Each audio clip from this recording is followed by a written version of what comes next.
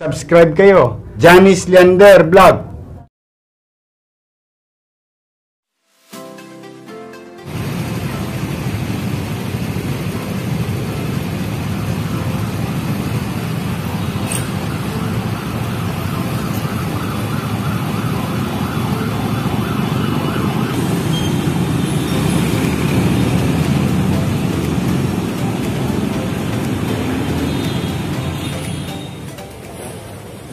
Niyo yung nakikita nyo sa mga malalaking avenue ngayon ng lungsod. Yan po ay ginagawa at donation ng Boysen at ng Davis. Sila pong dalawa, dalawang malaking kumpanya with a healthy competition. No? Continue to help the city. Both of them. Now, they, now uh, Boysen with us today in this wall. Gusto ko lang, kanina nag-uusap kami nila principal, sabi ko. Sabi ko kay RB, alam mo ba to RB? A few years ago, nung hindi pa ako mayor, hindi madaanan ito. Pati itong pader na to nabebenta. Sa maniwala, tanong nyo sa mga barangay official. Pati ito nabebenta. Ang panghi, lahat ng kadugyutan, makikita mo. Dito walang gobyerno. Sa kanto niyan, walang gobyerno. RB. Ang cutting trip ng Cubao de Visoria, ando dyan. Nagbayad ang tao ng kumpletong pamasahe, dapat hanggang Asunsyon ang ikot. Pero hanggang dito na lang dahil wala nang madaanan ang tao. Magandang magandang araw mga kababayan sa ating overseas Filipino, sa buong Pilipinas, sa buong mundo. Magandang magandang araw po mga kababayan. So, andito po tayo ngayon sa Gregorio del Pilar Elementary School. So, ito nga po, may bagong pinalagay dito, moral fencing. Mayor Iskok Moreno. So, ito, panoorin natin mga kababayan. Itong moral fight na ito ay inihahandog para sa ating mga frontliners mga kababayan. So, ito na nga po yung moral paint na pinagawa ni Yormi dito sa gilid ng eskwelahan ng Gregorio del Pilar. So, ito dito mo, noon mga kababayan ay punong-puno ng obstruction dahil ito ay ginawa nilang tindahan. So, ngayon po, nung simula nung naupo si Mayor Isko, ganito na po kaluwag, wala na po mga tindahan dito. At ito na nga po, makikita natin pag naglalakad tayo dito sa gilid ng eskwelahan ng Gregorio del Pilar. So, lakad tayo mga kababayan. Ganito na po kaganda at kaluwag dito sa Divisoria mga kababayan. Malapit po ito sa Divisoria mga kababayan yung moral faith na pinagawa ni Mayor Isko.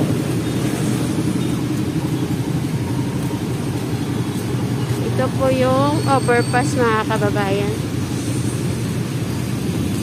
Dito po ito sa Divisoria sa may Abad Santos mga kababayan.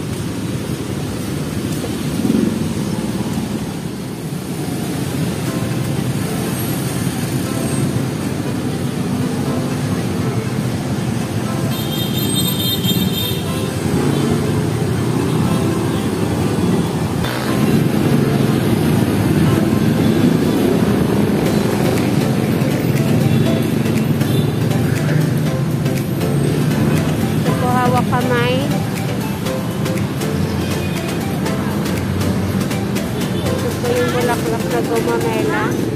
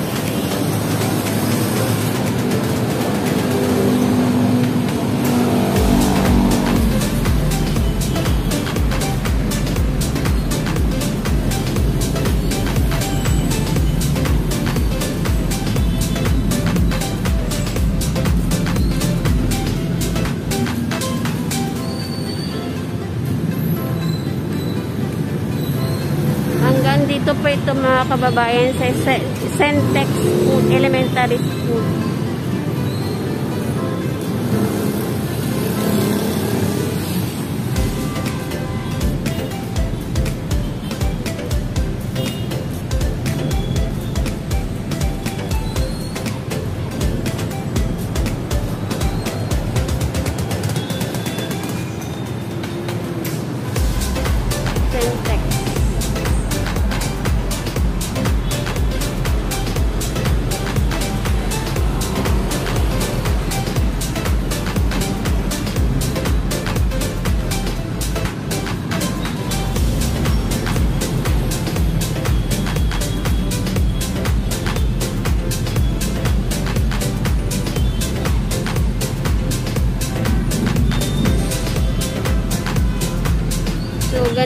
Mga kababayan kaganda na yung pader dito sa Sentex School at saka sa Gregorio del Pilar na ito ay dating marumi. Ngayon, napakaganda na ng pader po. Dahil dito sa moral paint na inihahandog ni Mayor Isko sa ating mga frontliners mga kababayan. Ngayon, ito na, ganito na kalinis tsaka kaganda yung ating pader dito sa Gregorio del Pilar tsaka Centix Elementary School.